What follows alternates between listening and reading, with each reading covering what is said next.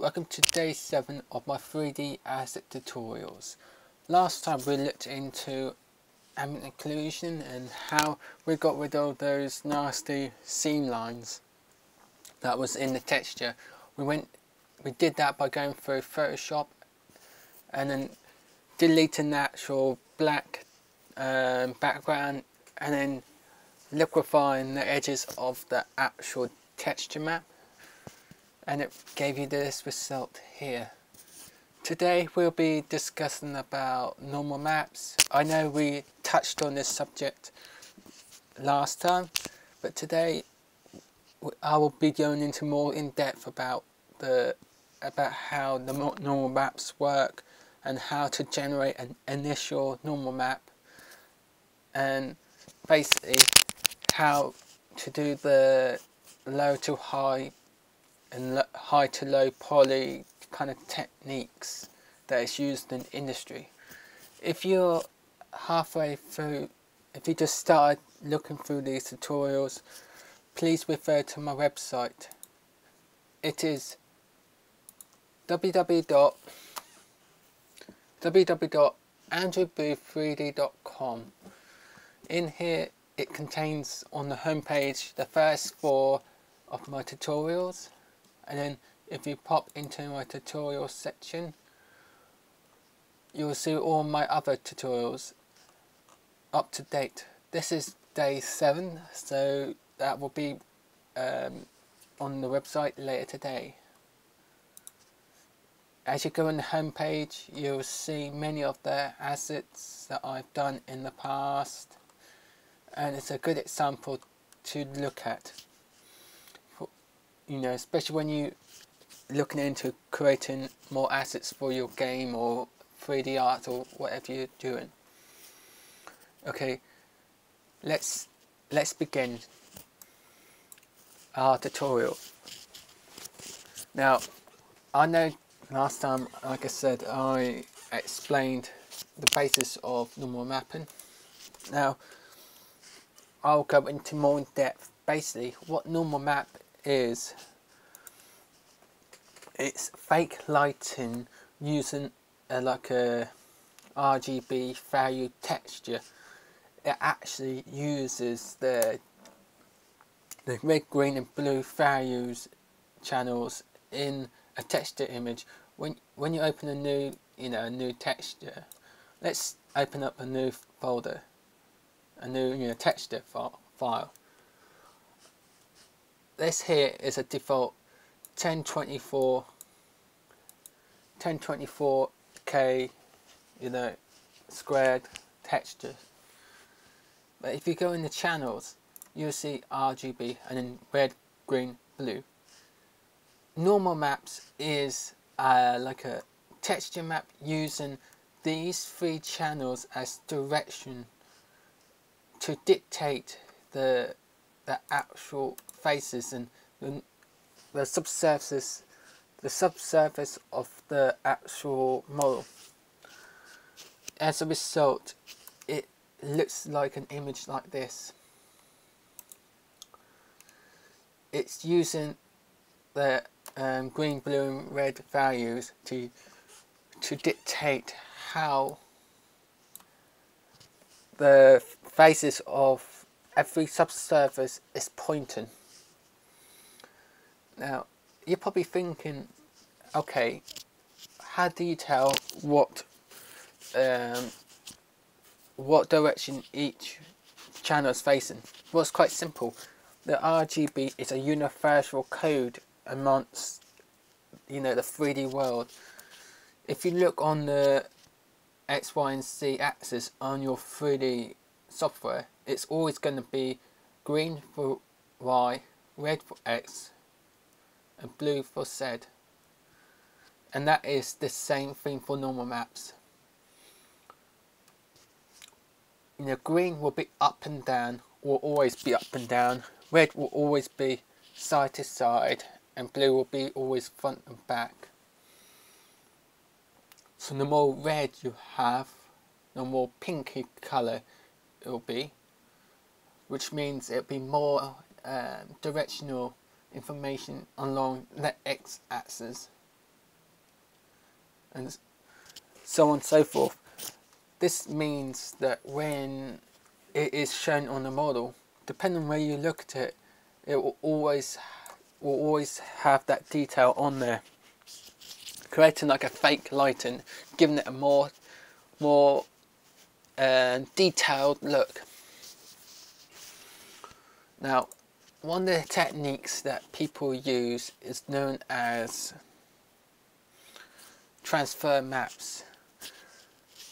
You get to this by going to your rendering setting and then lighting and shading and transfer maps. In here you can transfer all sorts of data between two models.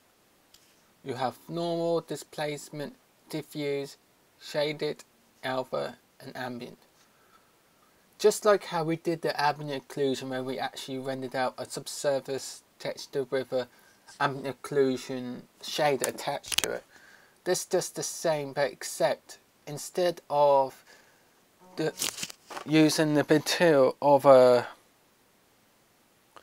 instead of using the material subsurface to render out the texture what it does it takes the light information that is seen on the texture on that actual model so and then transfer it to another model creating a, an ambient occlusion map so it's a good way it's a good way to do that.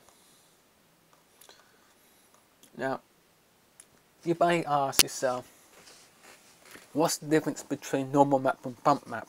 Bump map is a grayscale bump uh, texture kind of like an, a height map where it uses white as high black is you know back you know so it's pushing, making it like a relief.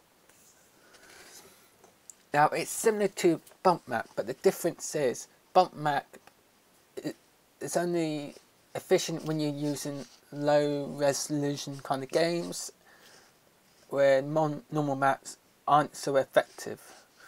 Where the more high resolution game you go into, the more uh, bump maps are ineffective.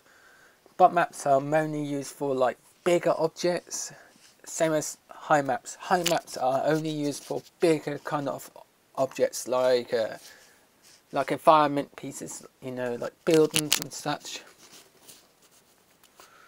For smaller um, for smaller assets, it'll be better to use normal maps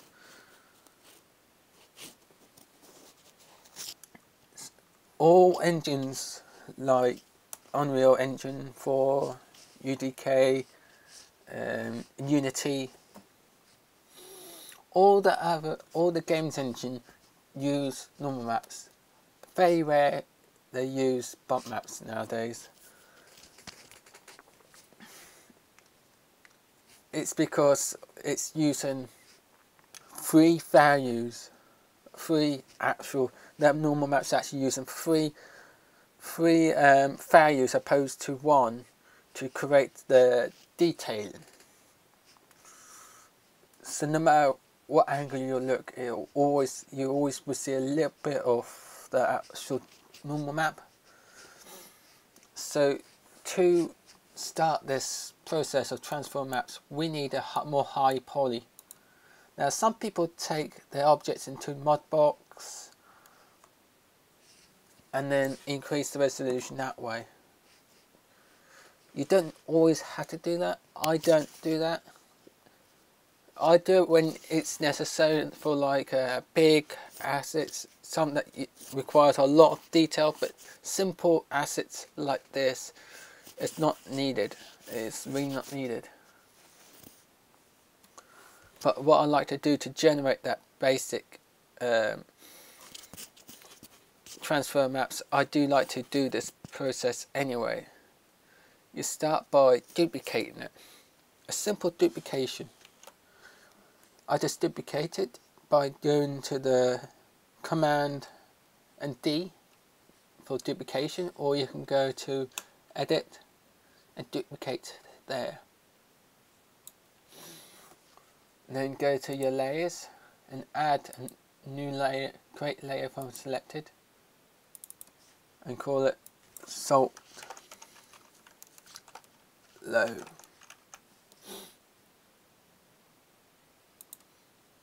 And set a colour. And it will leave this one behind. Now this is where you do a little bit more advanced um, modelling. I would now just create another layer for this floor so it could be hidden. There you go. As you probably see, this is black. Don't worry about that. The reason being that's black is because of the ambient occlusion. Because when you when we winded out the ambient occlusion, the light bounced and light cannot reach underneath because of this floor and how high this actual model is in comparison. So it can, I mean that's why it's black because it hasn't got that um, enough gap to to add light light rays into it. The reason being there's a little light around here is for bouncing. When light light bounces and it bounces onto these bits here, but it cannot reach these. That's why, you know, underneath. That's why it's more black underneath. So we start off making more high poly by selecting faces and to select these ones here.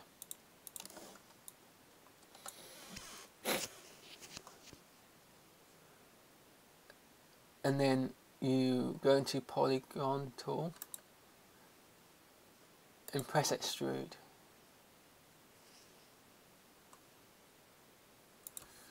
you turn that to the thickness to zero because we're not getting the thickness yet but we're offsetting it by one that's too much to 0.1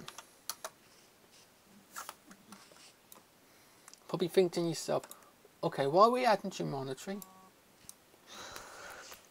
You're probably thinking,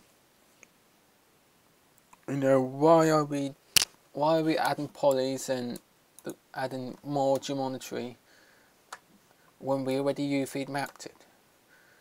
As you add more polys, it doesn't matter about adding geometry as long as it's within the the boundary lines, you know, the actual scenes, it doesn't matter because what you're actually doing is you're cutting up UVs at the same time.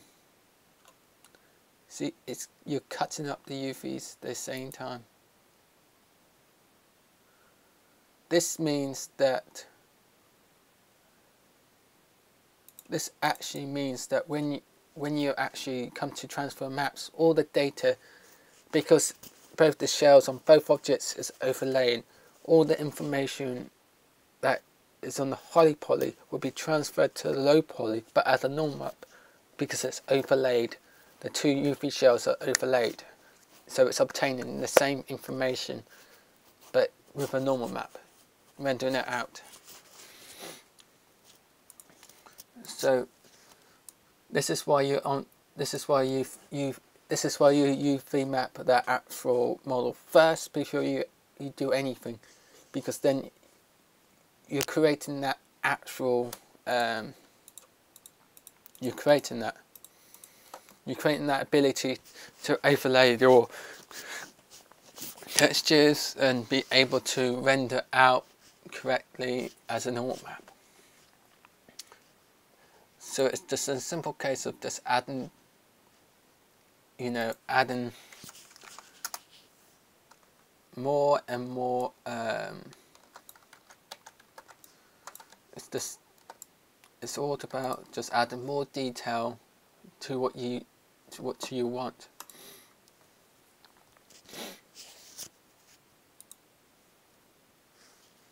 basically.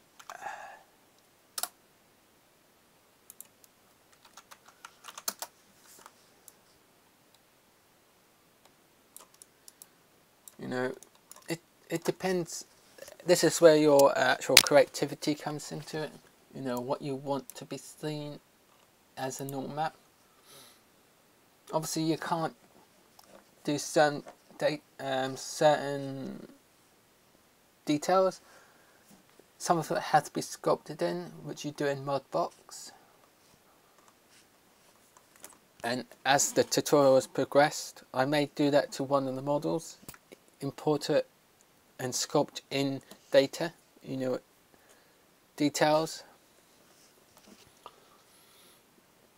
Obviously, it depends on what object you have. Object like this cannot be, you know, can't can't do that. It, well, it's not the case you can't do it. It's more the case that you wouldn't need to do it because it's just a just a silk grinder. It doesn't need that much detailing. Not in comparison to other models like a face or some sort. Now, next thing to do, what I normally do I go back into my modeling and then find uh, where is it it's a uh,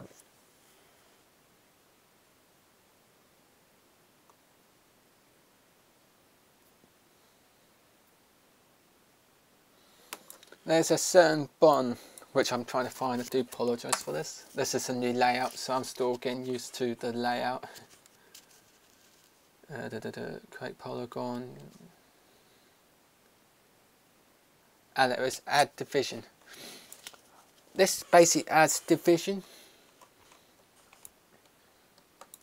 based on the geometry and how you how you create the object. As you can see, it split each um, edge, every edge in half by the power 2. So it's done it vertically and horizontally.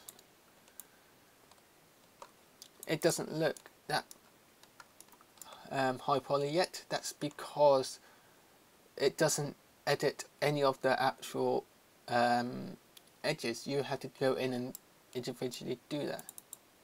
Which is okay because as you can see in the UV editor it's just added those lines that's all it's done. It hasn't cut up the UVs or anything like that. You won't need to worry about that because you don't touch any of these because whatever normal map is generated from this will be transferred onto the low poly.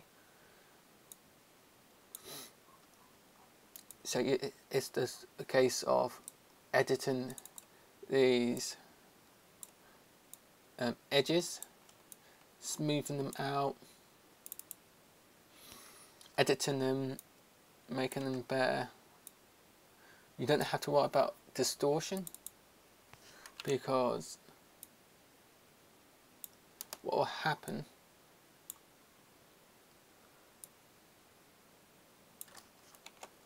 what will happen is all that information that is obtained here is transferred into that um, actual model anyway, into the low poly anyway.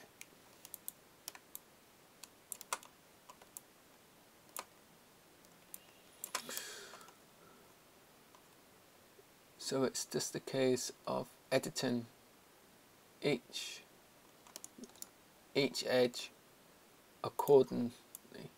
It may take some time but once it's done you know you don't once it's done you can start the process. It's a pain to do.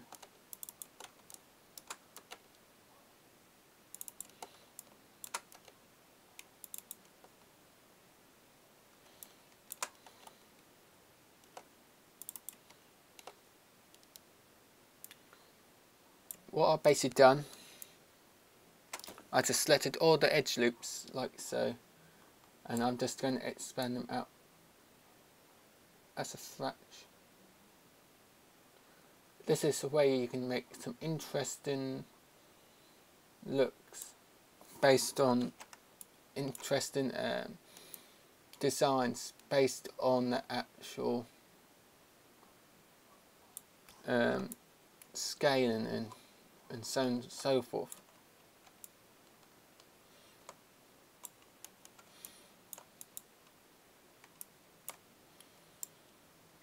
Like so, it's just a case of going back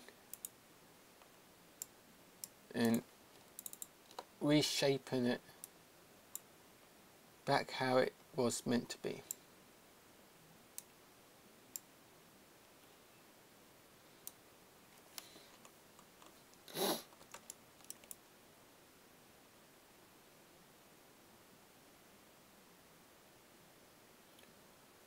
See, I like that actual design. I think that's quite groovy and it'll look really good for actual model. Like I say, it's just a case of going back in and editing these faces based on the actual model and so so on and so forth.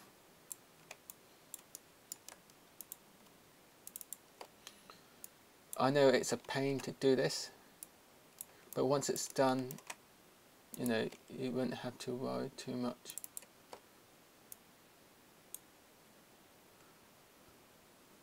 And because it's you already UV mapped it all that data is still obtained here. Which means no matter what you manipulate because they, it's still the same UV map mapping here. Any information that's obtained here will be transferred onto the low poly as I keep saying. I would be careful because it can correct artifacts within the normal map if not done correctly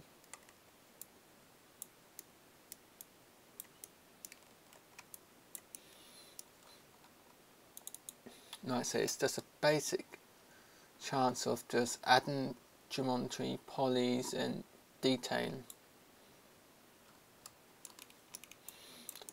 don't worry about you know don't worry about the poly count or anything like that.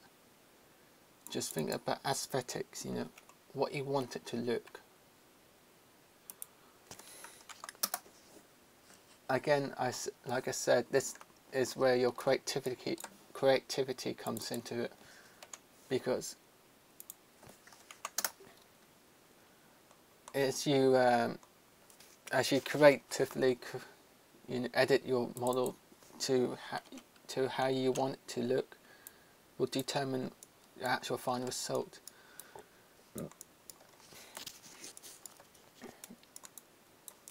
As you can see, it's all about tweaking it and you know what you want to be seen and what not to be done to the actual model.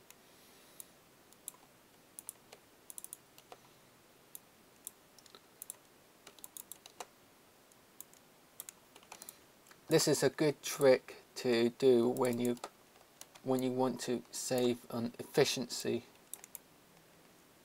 model efficiency because what you'll find is you'll have a lot of polys but in the same token you'll have necessary geometry which you want to keep a certain look but you can't because it's too high poly. Well, this process you can do in reverse. So if you have a high poly model mesh and you want to keep the that actual shape, this is the way to go about doing it. By creating the high poly first, that you can then, by creating the high poly first, you can then you know, create a good resolution and then transfer the data that you have onto a low model, a low poly model to obtain a better and more efficient model because then what you could do you can lower your poly count accordingly based on your topology opposed to the detailing because then the detailing will be put into normal map. Again it's it's all about what you want to model and what would be best in that actual normal map. Now as you can see it's a bit um, bit jerky around this area. That's because of the normal the normals. The normal direction is all hard here. So go to normal direction and normal display and soft edge and as you can see it smooths it out again Now, I'm up to that bit where I'm happy with it. This is still, some would still class this as slow poly for 3, 3500, but for the object itself, it is rather high. For a salt dispenser, no way would you need that amount of polys. Not in a million years. So, so this is where you can use the transfer map to onto that lower lower poly that we created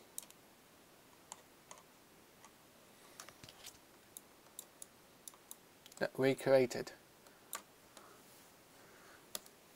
just enable first of all select this and create layer from selected and call this high. Turn off. There's the low poly. And we start filling this in. The target mesh will be salt shape 1 basically we're saying whatever map we are generating will be put onto this. This is the actual target. This is where the normal map will be placed onto. And then source meshes is where the actual mesh all the data is come from. It's the source of the actual normal map. It's the the start of it you know where it actually originated from. So this is where you select the high away the low and select the high and add selected and when you go to the low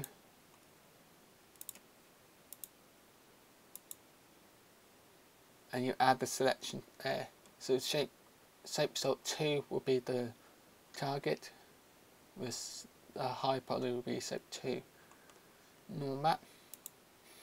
Now this is where you can set the normal maps, you know the font format. It depends on what you're looking for. It depends what you're working with. If you're working with substance designer like I do, go to bitmap you know they are all always exported in as bitmaps so it makes sense to import them as bitmaps considering that's the actual um, format that you use.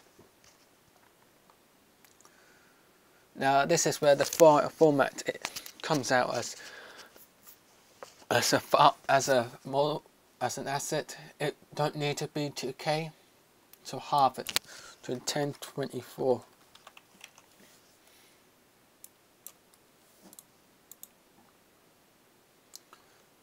assign assign shader this means it will connect the normal map to this actual sh shader what we have assigned with the occlusion map and I would say bake and close. It will take some time. As you can see, it's 2%, 3%.